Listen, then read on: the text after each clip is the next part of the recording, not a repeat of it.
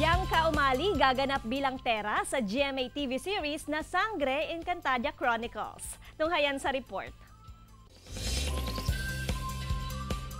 Sa kanyang latest social media post, maladyosa ang aura ni Kapuso actress Bianca Umali. Bahagi raw ito ng pinakabagong fantaserye ng GMA. Sa post na may caption na Avisala Terra, gaganap si Bianca bilang isa sa mga sangre. Hindi na bago kay Bianca ang mga mythical character dahil ang Kapuso actress bahagi ng mundo ng Encantadia. Kung ano at sino ang mga sangre, abangan sa GMA Telebabad.